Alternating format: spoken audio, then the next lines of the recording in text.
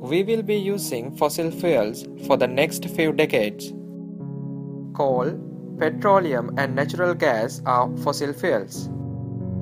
We are generating energy by burning fossil fuels, but in addition to energy, it releases carbon dioxide to the environment. These are major sources of carbon dioxide emission.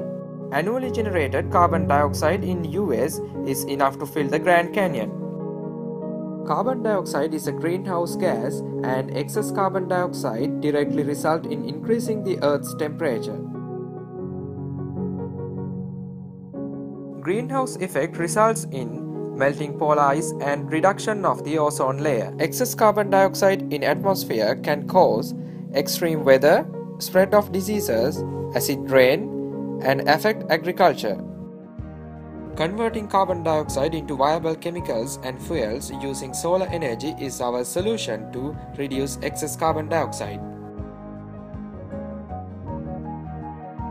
In near future, we will run out of fossil fuels.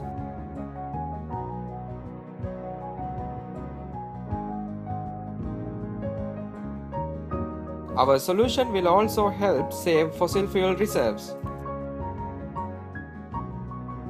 Zinc oxide is a good catalyst for carbon dioxide conversion at higher temperatures. Therefore, we have to increase the temperature of zinc oxide.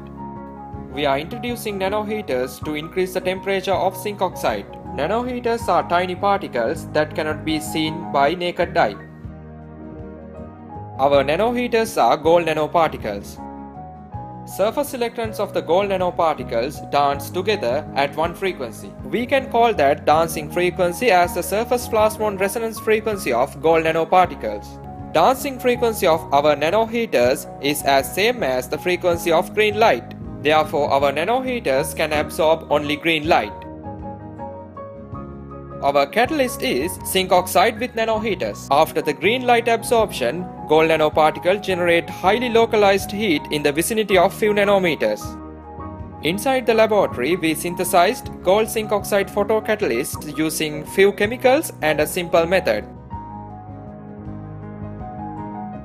We tested carbon dioxide conversion inside the lab using a green laser and we detected methane as a product.